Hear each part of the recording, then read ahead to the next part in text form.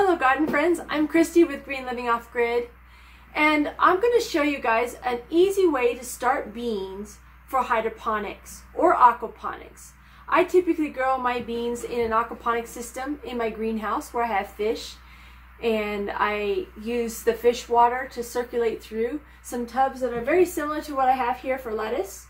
Um, I've got them going in the greenhouse but the water will circulate through these tubs and back into the fish tank and it provides just enough nutrients for my beans to grow really well.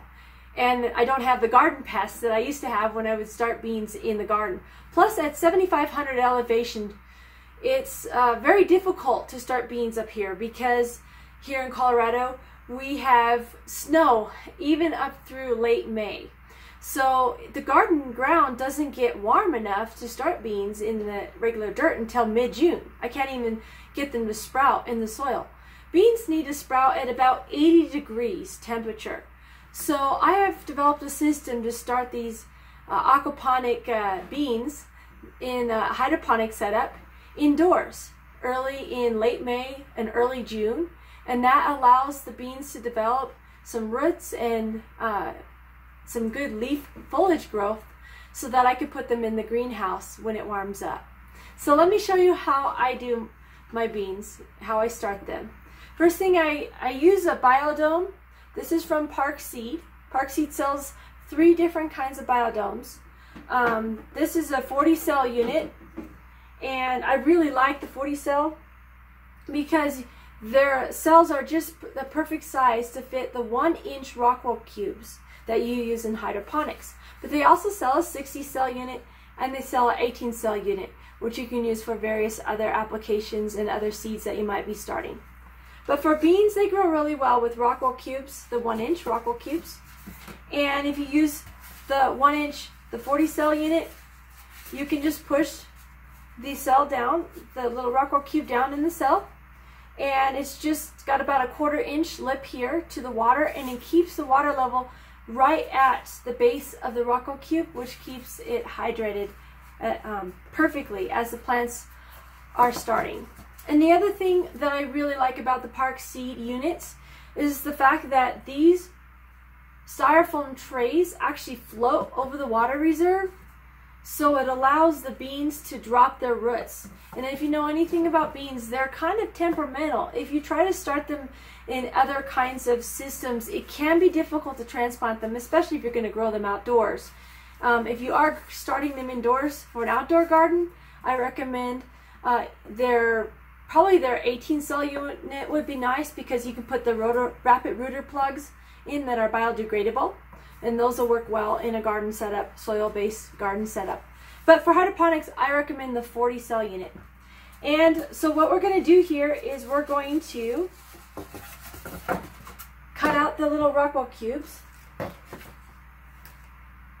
They come in this little flat of cubes and so you can cut them down pretty easily.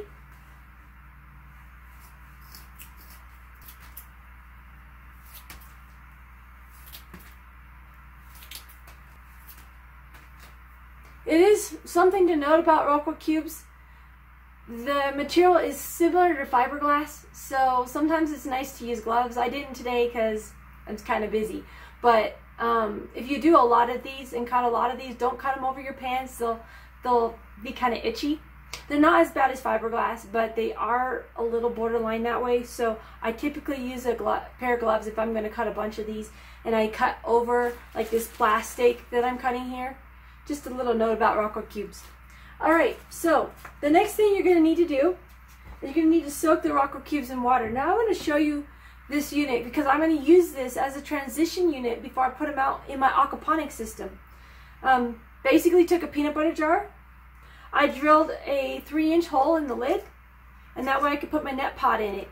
And so once, as soon as the beans begin to sprout in my unit, I put them in this little cracky tub, you could call it, a little jar, peanut butter jar.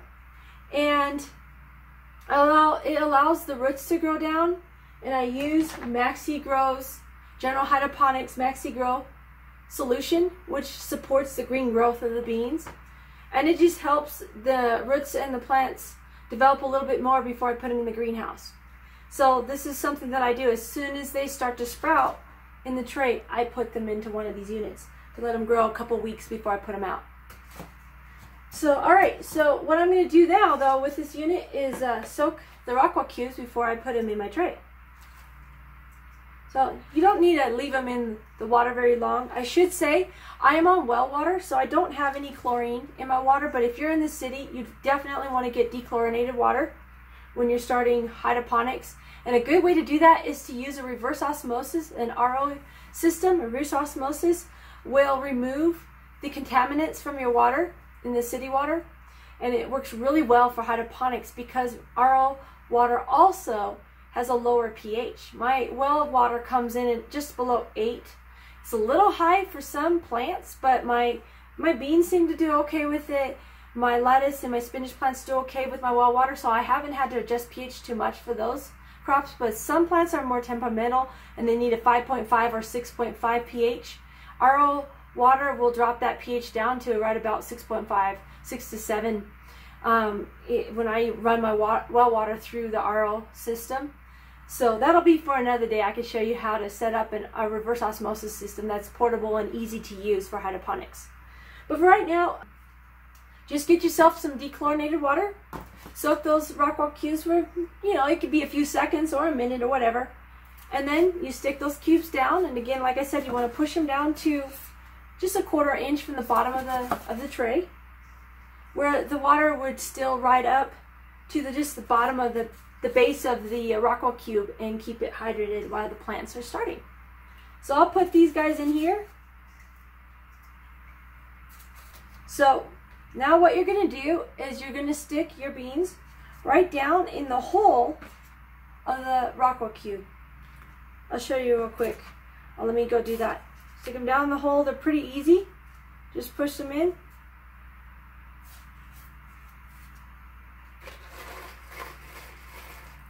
And another thing that you're going to want to do is use the garden snap bush beans in hydroponics unless you have a trellis system.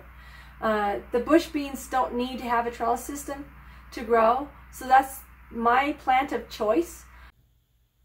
Well, here with the seeds planted, I'm ready to add water into the bottom of the tray.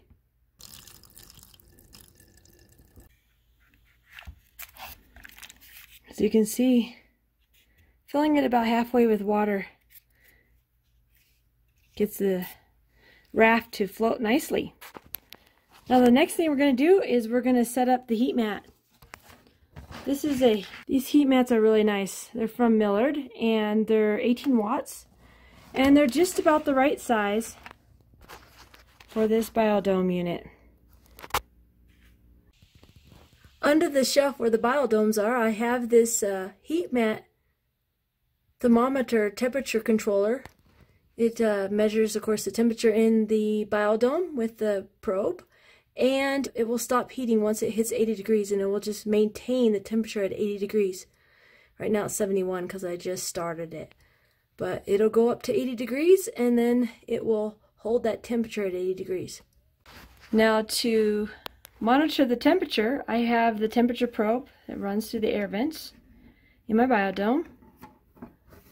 It is lodged in a Rockwool cube, and that works really well to monitor the temperature in my biodome and to maintain it at 80 degrees. All right, so we'll see how these guys do. Well, here you see, here in the middle, so one of them is already starting to root through. I've got some beans here. Now, generally they say beans are temperamental. They don't like to be transplanted, so I'm going to have to move them into my hydroponic setup pretty quickly. So planting beans in the net pot, once you get them out of the tray, you got to fish the little roots down through the net pot. Set this thing down in the net pot and then we'll add our hydroton. Now that I have the roots down into the net pot, I'm going to pack this Rockwool cube with uh, some hydroton clay pellets to stabilize it. Next, I'm going to rinse the hydroton just to make sure that the those clay pellets are nice and wet and then I'll stick it down in my system. Well, here you can see my beans have developed a really nice root base here in my grow tub. And it's warm enough now, I can put these beans outside in my greenhouse aquaponic system. So it's time to transplant them out to the greenhouse.